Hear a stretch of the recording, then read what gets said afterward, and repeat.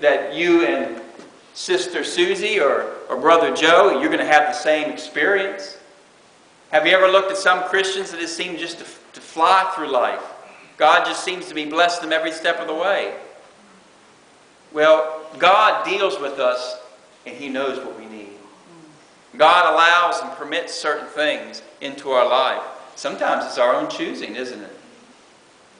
I feel, I feel, I feel bad for God sometimes. He gets the blame for everything. He is, he's the scapegoat of humanity. He, you ever notice insurance companies even? If something gets destroyed, it's an act of God. But if you see a beautiful sunset, oh, look at Mother Nature. I mean, our world is against God. But he says, I will remember your wonders of old. God is faithful. Faithful is he that has promised, who also will do it. Faithful is he that has called you, who also will do it. God will not uh, go back on his promises. Then he says, verse 12, I will meditate also of all thy work and talk of your doings. See, that's to replace, um, that's to replace what wants to come out of your mouth. You know, out of the abundance of the heart, your mouth will speak. You want to know what somebody's heart's like? Just listen to them for a couple minutes. You can see what's in their heart. But I will meditate. You know what meditation means? You know what it means to meditate? I'm not talking about the Eastern religion garbage. I'm talking about that. Biblical meditation, you know what it means? It means to say to yourself, speak to yourself. Right? That's what it means. You know, when we see uh, after some of these verses, it says Selah. Mm-hmm. That means stop, pause. Think about what you just read. Take a moment. If this, you know, psalms are songs, really. That could be a pause in the music if they were singing it to music. But it's a time where you just stop. Just be quiet. Have you learned the art of being quiet? Be quiet do your own business, Paul says to the believers, to the Thessalonian believers. Study to be quiet. That's an interesting thing, isn't it? Study to be quiet. I've told people that before. They've said, they're just running a mile a minute. I want to do this. I want to do this for God. I want to do this for God. Hmm. I said, you know what, brother? I feel like God wants you to do? Study to be quiet. Just be quiet.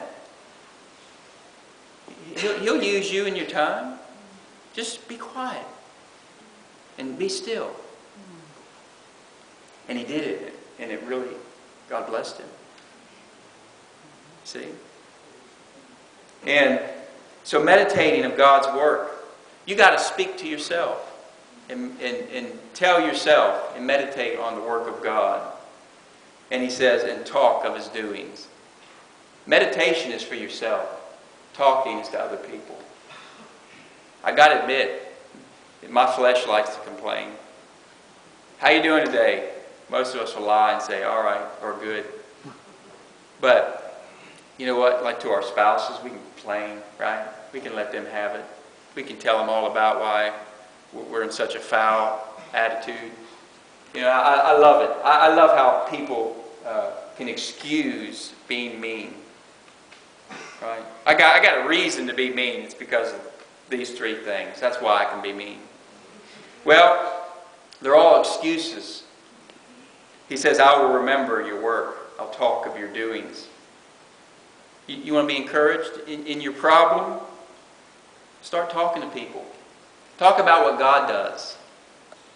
Get yourself refocused on the will of God.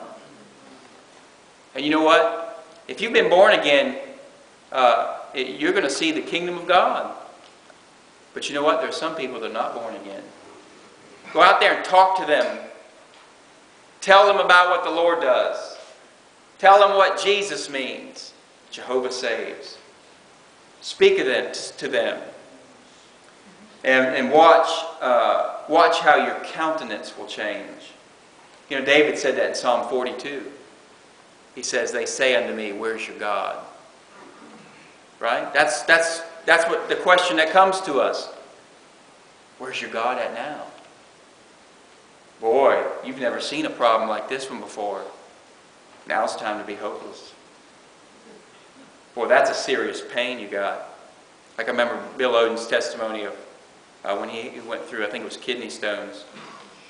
Uh, he was struck with pain, and, and Satan spoke to him, and he said, This is serious.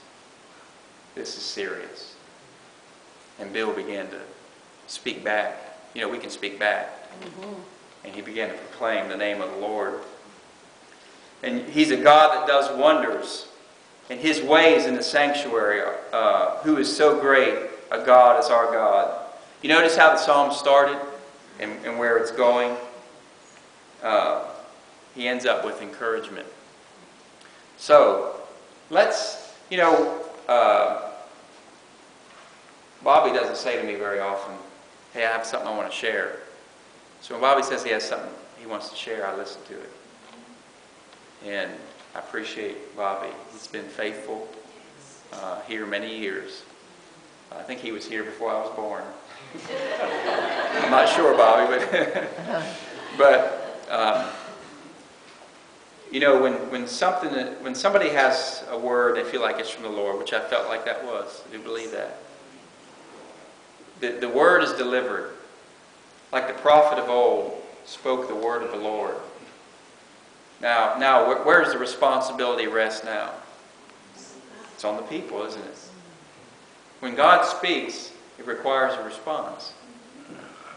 So, um, the response is that God, we will put our trust in you. Psalm 61 says, um, My soul, wait thou only upon God, for my expectation is of him. My expectation is of the Lord. So, as we've been thinking about our about faith, our faith in God, um, let's just be encouraged as we've gone through some real trials.